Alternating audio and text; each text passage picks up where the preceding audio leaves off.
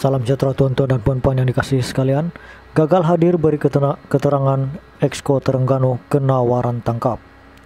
Mahkamah Pilihan Raya Terengganu pada Kamis mengeluarkan waran tangkap kepada Exco Pembangunan Insan, Dakwa dan Penerangan Terengganu Muhammad Nur Hamzah kerana gagal mematuhi perintah mahkamah. Hakim Datu Hasan Abdul Ghani yang bersidang sebagai Hakim Pilihan Raya mengeluarkan perintah itu selepas Muhammad Nur gagal hadir memberikan keterangan di perbicaraan Patisien pilihan raya bagi Parlimen Marang pada Kamis. Peguam pempetisien Amin Otman memohon satu waran tangkap dikeluarkan mahkamah terhadap Muhammad Nur yang merupakan ahli Dewan Undangan Negeri Bukit Payung atas kegagalan tersebut.